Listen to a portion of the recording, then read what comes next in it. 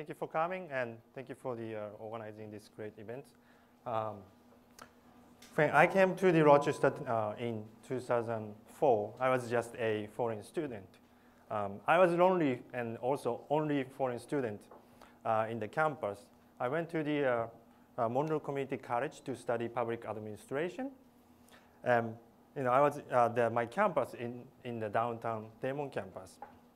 So, you know, it was really you know, exciting, but you know, it's very great experience to be here, like as, you know, to see real America. Uh, first day, I'm moving to the downtown Rochester from New York City. You know, the view I saw is like that. You know, I was walking downtown, and then I was looking downtown. I couldn't find out where the downtown is, and soon I realized that was downtown. I didn't know anything about Rochester, so I kind of want, you know, I have no idea what's happened in this place. But it used to be a great place, but you know, many people left and business is not there. It looks like empty. And soon my class start. My first uh, class is gr uh, grant writing class.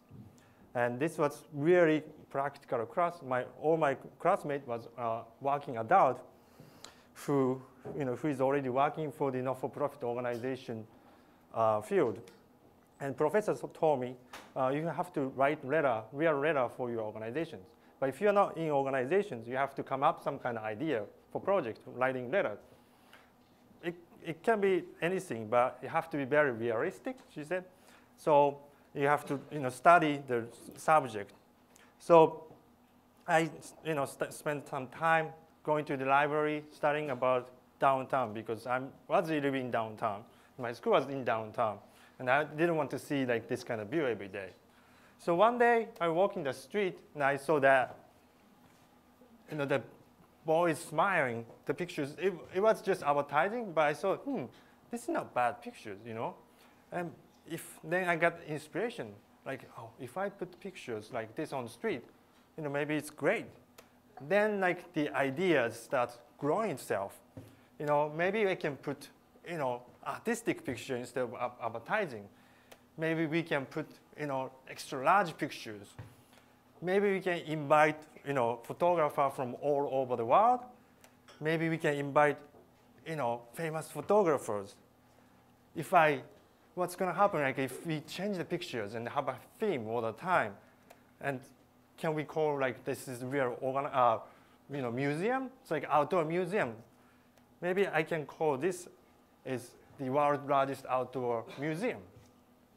Then I saw maybe people come from even Canada, you know? well, you know, that route is already gone, but, but you know, it's like we already have a people traveling to the Niagara Falls, so maybe we can bring this, you know, if you become famous, we can get, you know, more people to come to Rochester. So not just like, uh, you know, beautifying, but like maybe we can bring back the people walking the street. Maybe we can write up pictures and help people walking the street nighttime. And maybe we can project image to the windows. So I was so excited that day I got inspiration because I never got kind of idea, you know, which made a lot of sense, and I feel like I, know, I can convince somebody, you know. And that, that, that night I couldn't sleep, so I just started making plan. And I made a lot of computer graphic because I didn't speak well, and I didn't speak English well that time. So just using this kind of computer graphic, just you know, talk to everybody. Um, I got A from the class, and then after the class, I just start thinking, oh, maybe I should know, really pursue this project. And I just start talking everybody because I didn't know anybody. So I speak people on the cafe. I met a lot of people on the street. I met people in the bus or school. But I ask a lot of questions and you know, ask an opinion about this project. And many people feel like that's a good idea. So I feel like, oh, maybe this is great. And then I start grasping who is a key player in Rochester. So I met the city council people. I met like art organizations. Know, I met the people in the, you know, the develop, uh, downtown developing people, develop, you know, developers in downtown. But most importantly, I met a lot of great people who wants to willing to help me to do this project. We got wonderful volunteers. Uh, one is included John Lam here. um, but we worked very, very hard. So first two years we worked very hard, and in 2006 we did a first project called Photo Mosaic, Rochester Photo Mosaic. We installed 60 by 40 feet uh, photo mosaic on the side of the building. We asked Rochester people to submit uh, pictures of their daily life. We got 10,000 pictures, and we made one big image. So if you go far, you see big picture, but if you go close, you can see all small images. This is the installation day, and this is opening picture. The, the photographer of these pictures are Joseph in the center. He was seventh grade that time. He took pictures of his friends you know, playing in the uh, park by themselves. And I saw that's great pictures because, you know, my Irish time, like most fun time is, you know, to playing with your friends. You know, and if kids can play by themselves, that's good sign. It means next city is safe and it's everybody feel comfortable. So I did enhance the pictures a little bit, and I spent one week to make a computer uh, generated photo mosaic. This is still there in the St. Paul Street. Uh, it's in the SUNY Blackboard building. And we got some uh, media coverage, uh, local news, even uh, a reporter from Japan came and make article for me. It's become uh, front page of my uh, uh, hometown newspaper. After this project, uh, many volunteers have to take a break because that was you know, full-time work and nobody get paid. And for me, you know, same thing, I graduated from school and somehow I have to make this as my occupation to keep doing this project. Then I just start working uh, Jerry DeMarco, who is the 60 years old lawyer who has four kids, 15 grandkids in Rochester, who is the uh, uh, immigrants of uh, uh, Italian immigrants of uh, kids. I mean, the, his father is Im immigrants, and he grew up the, near the public market, and his office is always in downtown. So entire his life, he's in here, except the college time. So he had connection to people. You know, he know the people here you know, the people know him, and he, people trust him. So it was like odd couple, but we did a lot of projects. Last eight years, we, we did uh, more than 20, uh, 20 exhibitions. We, got, we installed more than 300 pictures in downtown. Now I can put all the picture, I can show you, I cannot show you all the picture today, but if you're interested, you can go bigpicturerochester.com to see more pictures. Uh, this is second year's project. We just start putting, uh, installing the pictures of a Rochester event and festival. This is a bike race one time in Rochester downtown. Um, um, so soon we just realized that you know our main audience are people who waiting bus while they're transferring uh, uh, in a bus. Uh, so I feel like these people, you know, most of my audience don't go to the art museum. So I wanted to have something connection to the art. So that's why I put a lot of Rochester pictures. This is a clean sweep pictures. Um, it's very nice, uh, positive image. And I didn't personally did join this project, but I have to tell you, you know, before installing this picture, I mean these pictures, all pictures actually, I have to clean up the building very, very well, you know, because like sometimes messy and smelly, you know, you have to do that kind of stuff. So I feel like voluntarily join this project. This is a Lilac Festival. Uh, this is the uh, uh, artwork. This is Jazz Fest. And this is the third year's project called uh, Four Seasons of Rochester. This is uh, summer. This is spring. This is fall. This is winter. Uh, this is my favorite pictures. In the fisherman's fishing, it's almost like you can jump into the river, and also the water is almost like coming to your side. In 2009, I started working with City of Rochester and did an exhibition for 175 anniversary of Rochester. We installed a lot of uh, downtown old picture, but it's not just installing it. we put same location. So for example, this is the uh, Rochester Saving Bank picture uh, from uh, late 19th century.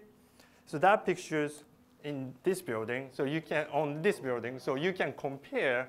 You know, I don't know which building is better. we progress anything, I don't know. But, you know, it was great uh, education too.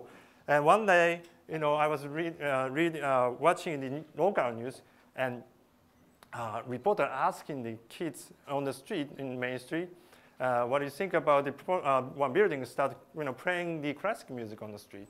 And one girl said, I love this project because it makes everybody comfortable, and you know that's inviting. More people should come to downtown because downtown used to be a great place. There's a lot of people, a lot of business activities. But she was only like 14, 14 years old or something.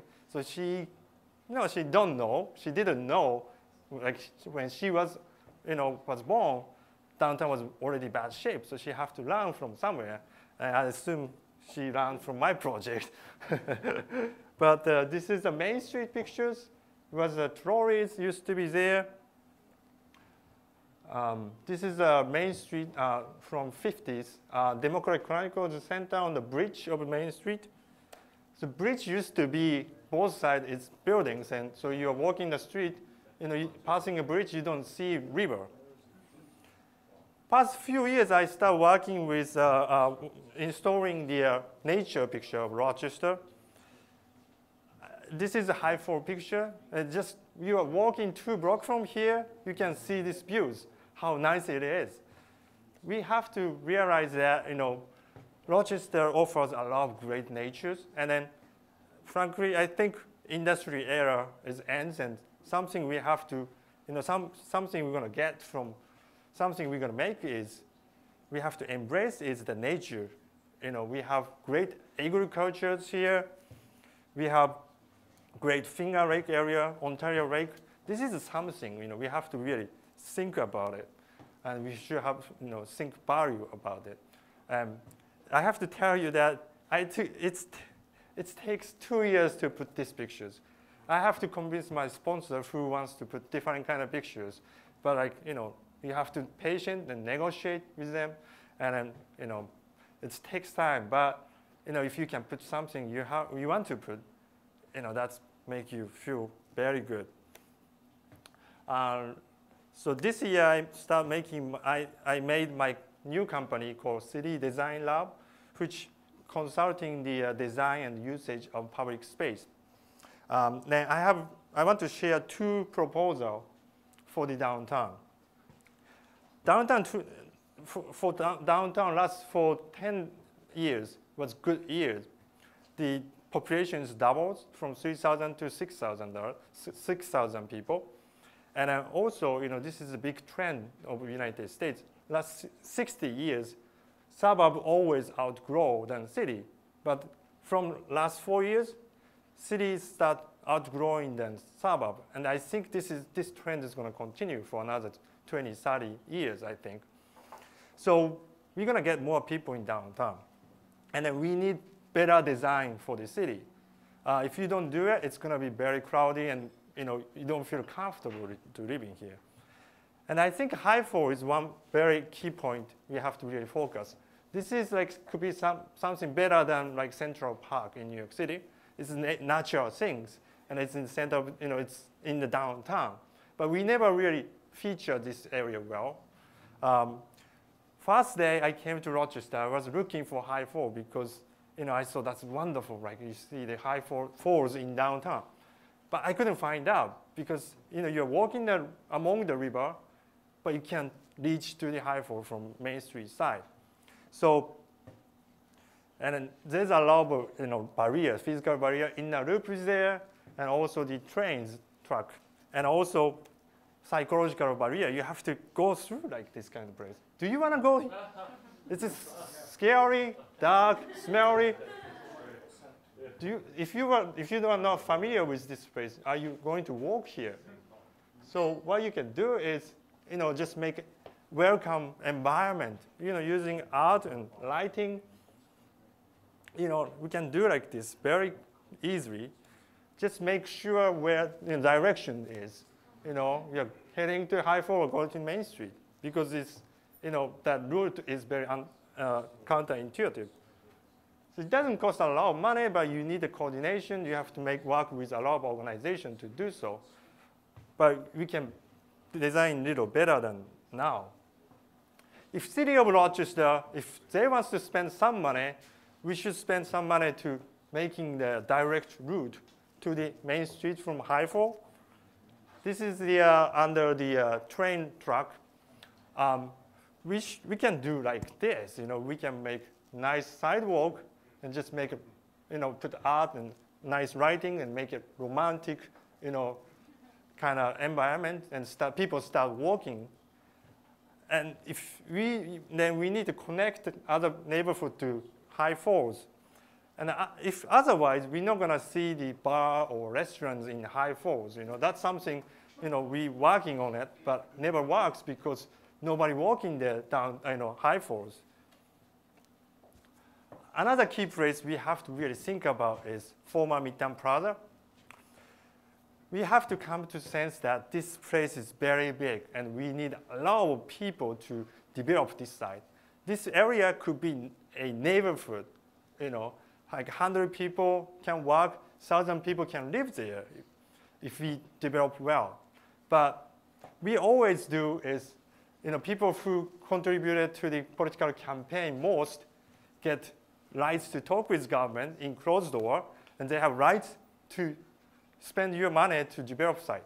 But we have very bad track record, you know, especially in downtown, for this kind of development. And we should start thinking different way.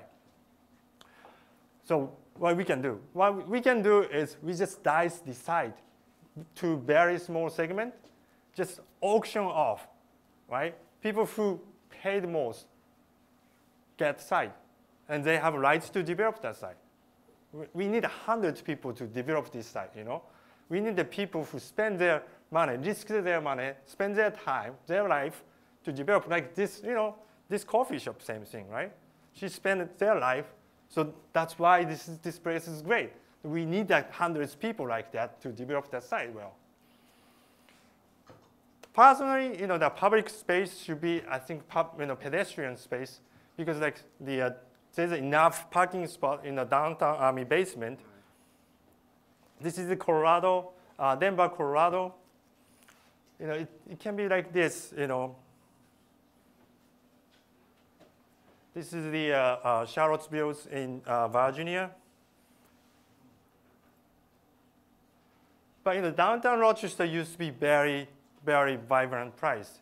And if we are smart enough, we can make that kind of place again. You know, we can make this place as like Park Avenue, Monroe Avenue, you know, South Wedge combined.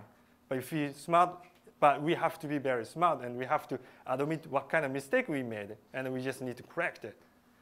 Uh, so I think we should start, you know, design city a little better. Thank you.